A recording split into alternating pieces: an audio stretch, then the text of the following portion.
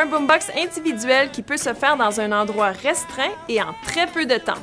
Ce boombox est excellent pour se réchauffer et s'adapte aux enfants de tous âges. 30 secondes de jumping jacks. 30 secondes de posture de la planche.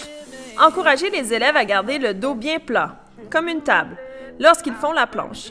Souvenez-vous, ils peuvent modifier la posture en s'appuyant sur les avant-bras ou sur les mains, quelle que soit la version la plus confortable pour eux. 30 secondes de corde à sauter rapide.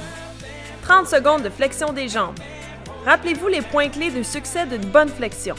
La poitrine bien droite, les hanches vers l'arrière, comme lorsque l'on s'assoit sur une chaise. 30 secondes de genoux élevés.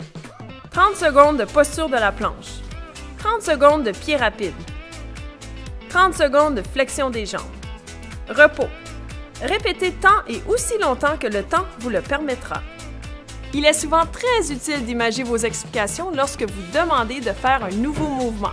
Par exemple, faire semblant de courir dans les pneus, rester bas, les pieds larges, les genoux élevés. Encouragez vos élèves à bien effectuer ces mouvements.